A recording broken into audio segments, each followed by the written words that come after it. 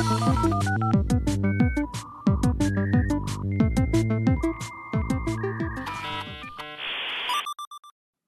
and welcome. Today we will look at some top 10 Microsoft Teams setup and secret features you must know and configure when you're using Teams.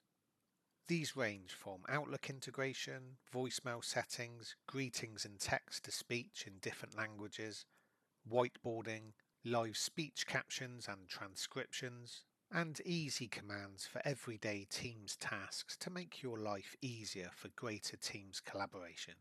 So let's go through the top 10, but before we do, please subscribe to the channel and hit that notification bell. Thank you.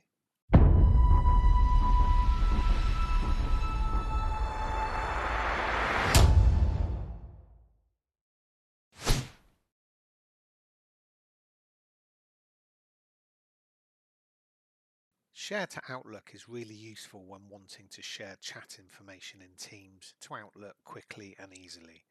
You can do this right in Teams and share information and conversations via Outlook. Let's take a look at an example here. So we have some weekly notes from Emma and we want to uh, distribute these quickly uh, to the company. So go to the top of the conversation in Teams, select more options and then select share to Outlook. Then choose the recipient who you want to send to and click send. Simple as that.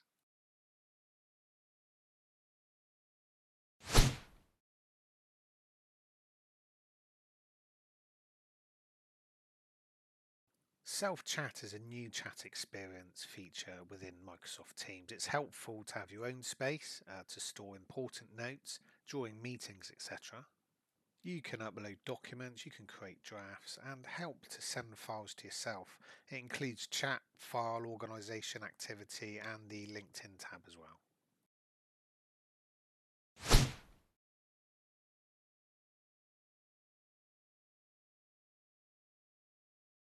People love to receive recognition for a great job or a moment of kindness that they've given to others. So here you can use Teams uh, praise um, to deliver that to your Teams uh, connections in the form of badges. Connect to the praise icon as shown and we can select the badge here. We will choose um, a thank you badge to Emma for sending over the meeting notes in good time add a personal note to reflect this. Uh, we can preview to see what it will look like and we can then click send.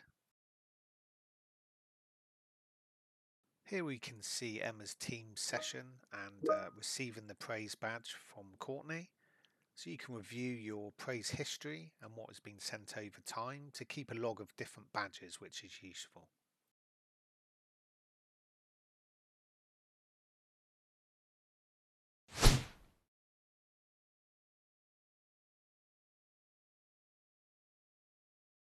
Now we all have different views and colours, so let's see what these look like in Teams by going to settings in the top right uh, under general and you have these different options to change the theme from current default. Uh, so let's try the dark theme.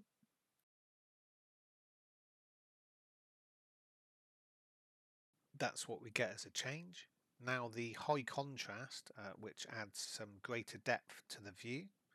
Will also choose compact for the density and see what that looks like.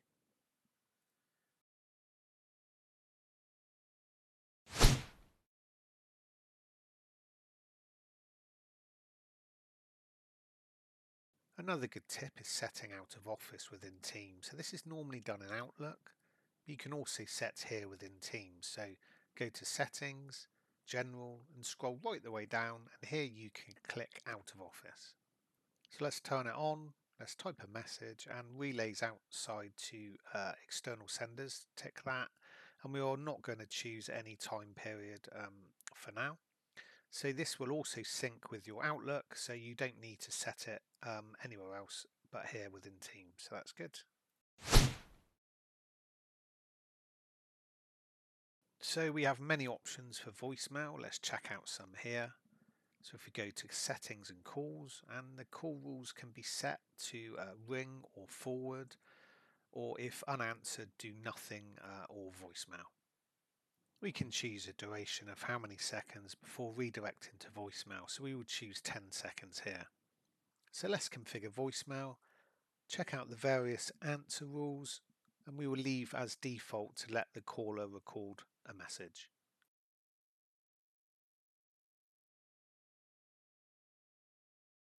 And we can set the default language you can choose that the greeting will be out outputted in.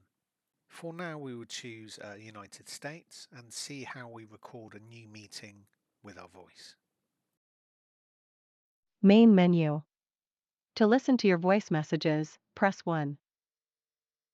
To change your personal greeting, press 2. To repeat this menu, press 0. To exit, press the star key. So to change our greeting we would choose 2.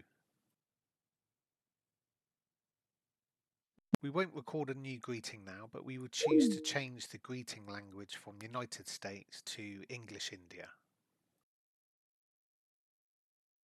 Click record a greeting again, and now we can hear the new greeting language change.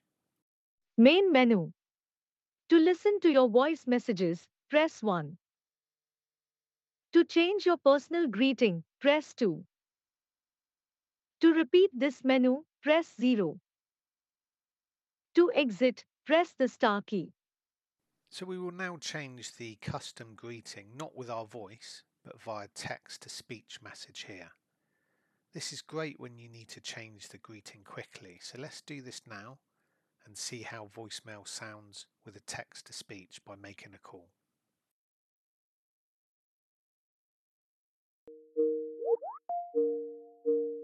Hello, thanks for calling. I am unable to take your call right now. Please ring back later. Thank you. Please leave a message after the tone. When you have finished, please hang up or press the hash key for more options. So a message was left on Courtney's voicemail and we can see the voicemail in text transcription form and we can also hear it in different speed outputs when the message is large. Hi Courtney, can you give me a ring back when you get this? Thanks.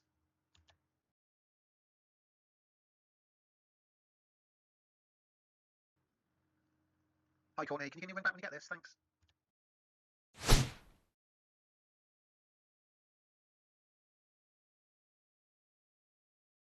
Slash commands are a cool feature and very useful to save time. So to see the long list, we simply type a forward slash in the search box.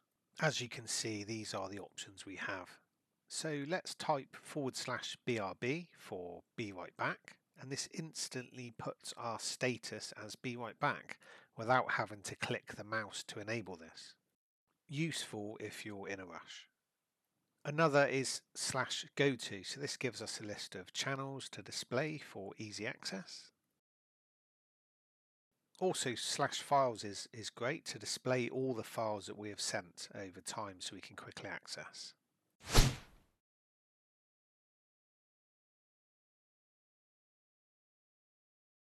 So turning on live captions when you're in a call is very useful so we can choose the spoken live language for the transcript and we will also record the meeting. Hello, how are you? Hope you're all doing well today.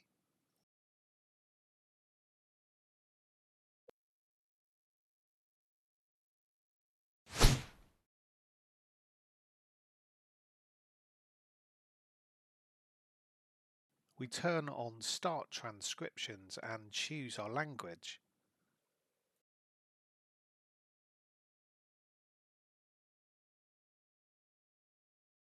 Then when people speak in a meeting, it's captured.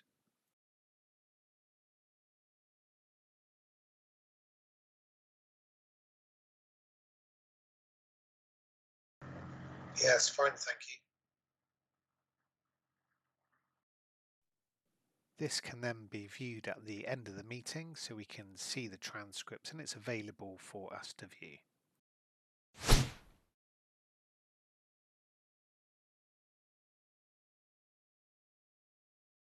Okay, so we can collaborate with people in a Teams call um, in a whiteboard session. This is very useful, which lets Teams meeting participants draw, uh, write together and interact on a shared whiteboard canvas. So once in a call, we click Share and then we choose Microsoft Whiteboard. Here we choose a new whiteboard so Emma and Courtney can collaborate. Can choose different notes, etc., pen tips and colours for drawing ideas.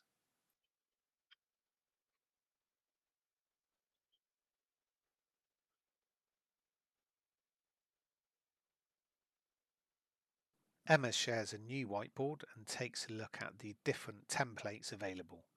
Here we have many options for brainstorming, problem solving, uh, project planning, etc. between teams. Let's drag a topic brainstorm chart to interact with as an example. So hope the video is useful. Please subscribe and hit the notification bell to receive notifications on up and coming videos and within the channel. Uh, also please comment below.